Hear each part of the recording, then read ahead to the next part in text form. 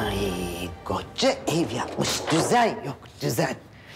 Biz o küçücük mutfaklarda çok daha derli topluyduk vallahi. Anam şu hale bak. Anam şuna bak şuna. Her şey var. Aa ilaç var. Bu ne? Kalem var. Makas var. Anahtar. Anahtar. Onu aradı. Anahtar olmasın sakın. Dur bir bakayım. Gözümde görmez ki. Allah.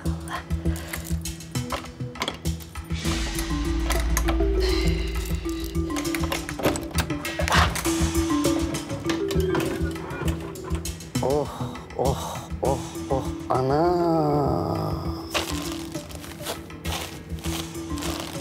Ne biçim kadın bu be? Aa, sanki savaş çıkacak.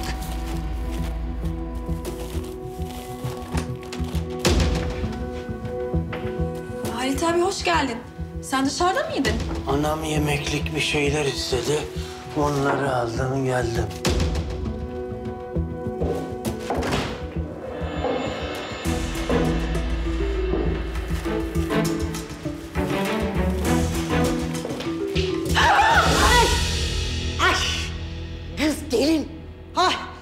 Ödümü kopartıverdin. Ha! Ne böğürüyorsun öyle? Ee, Hayriye anne, sen nasıl açtın dolabı? Anahtarla. Çekmişin dibindeymiş meğer. Bana bak. Sen bu dağınıklıkla hiçbir şeyi buluvermezsin. Ha. Aldım anacığım istediklerini. Ha, iyi iyi. Oraya koyuver. Sonra pişir. Yalnız kapağı çok fazla açık kalmasın, bozulmasın içindekiler. Kapat, kapat. Ben alacağımı aldım. Dünyanın malı var, dünyanın.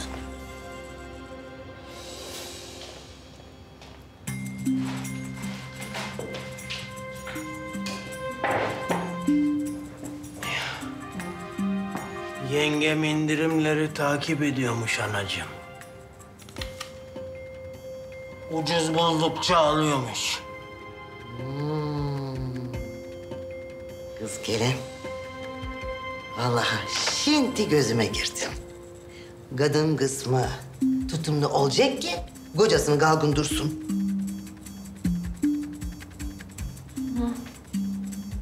Kız Zahra, sen güzel kızsın. Hiç kısmetin çıkmadı mı onca yıldır? Çıkmış.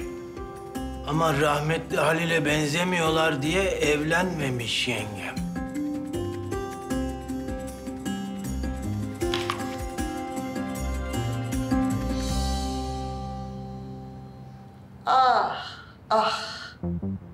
Halil'imin yerine Halit'imi evlendirmiş olsaydım... Oh oh şimdiye çoktan torunumu kucağıma alıvermiştim. Ah bunca yaşıma geldim. Hala bir torun yüzü görünmedi. Ne yapacaksın? Kısmet işte.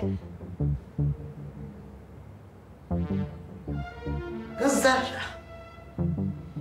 Düğünde takılan takıları ne ettin ki sen? Bir şey etmedim. Duruyor. Aa.